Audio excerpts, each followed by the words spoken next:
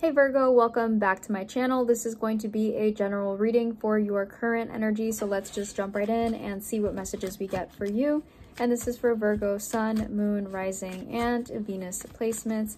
And you have been almost in every reading I've done so far. I've seen the Hermit so many times today, so let's just jump right in and see what we get for you.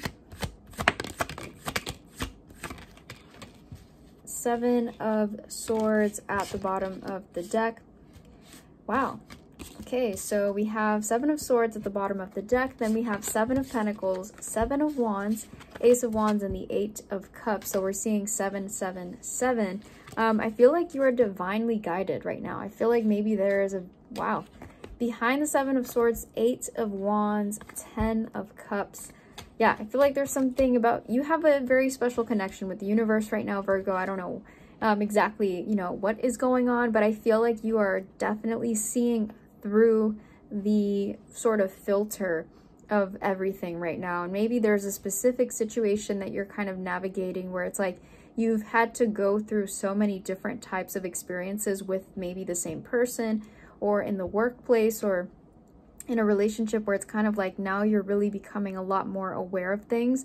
And maybe with the Eight of Cups, you're getting ready to make a decision here, possibly to walk away or go towards um, a situation that serves you more than the current one. I feel like with the Seven of Pentacles, you've been thinking about this for some time, kind of questioning, okay, you know, am I supposed am I supposed to just wait this out? Am I supposed to just, um, you know, see if things change or do I make a change myself. I, I feel like with the Seven of Wands, you've been giving someone the benefit of the doubt. I feel like with the Ace of Wands, you've been very open-minded, and I feel like your perspective has been very flexible. But I kind of feel like there's something, something that you're understanding, something that you know, something that you're seeing very clearly that is going to get you closer to what it is that you're really looking for, which is the Ten of Cups. So let's go ahead and clarify the Seven of Pentacles.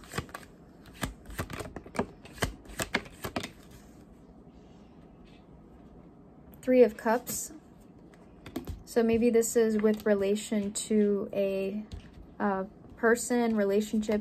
Maybe there's a third party situation. We have the Ten of Wands, the uh, King of Swords, and the Moon.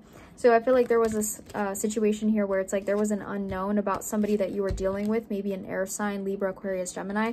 I feel like with the Ten of Wands, you could have been really struggling um, with somebody's lack of transparency, kind of like you may have been strung along.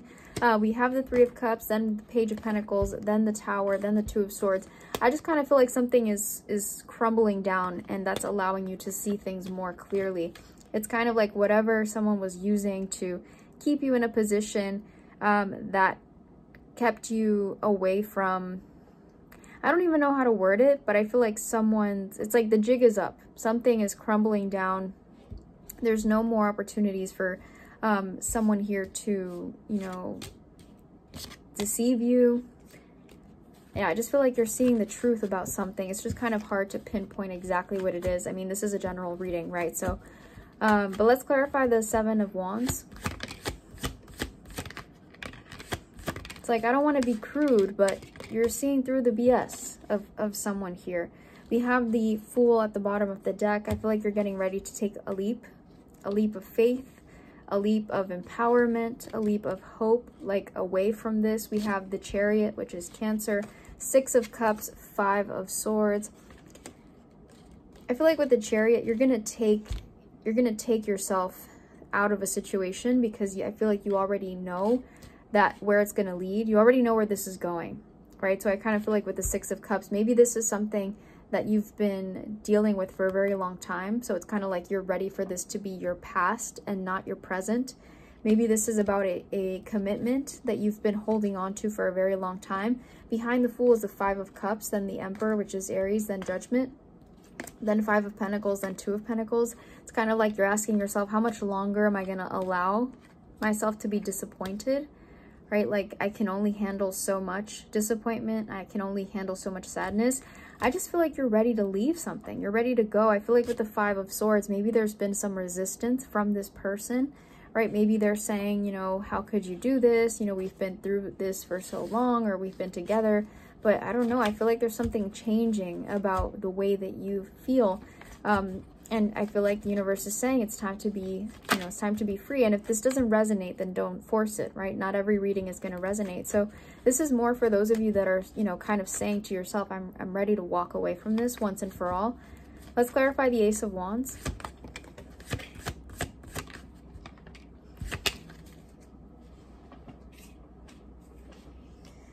Two of Cups.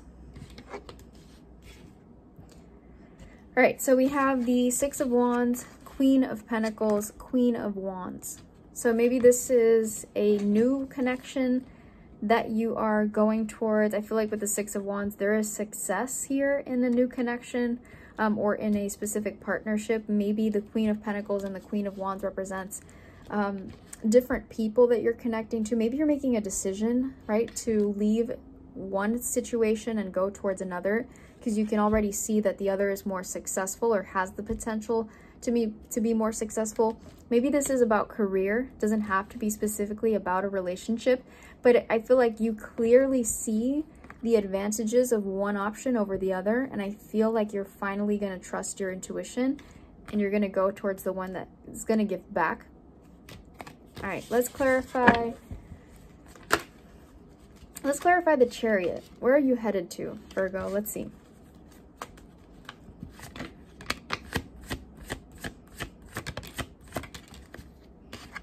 Six of Pentacles. Yeah, you're headed towards the opportunity or the offer, the situation that's going to give back. That's going to create balance, equality. We have Ace of Swords, Two of Cups, King of Pentacles. You want stability. You want to be respected. You want to be, you know, cared for. You want to be loved.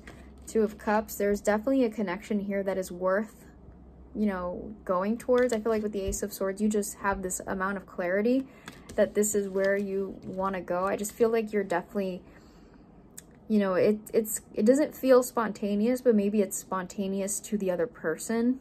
But I just feel like you're you're going towards your gut, right? You're leaning towards what your intuition is is telling you because but then at the same time, I also feel like you have all the reason to feel the way that you do.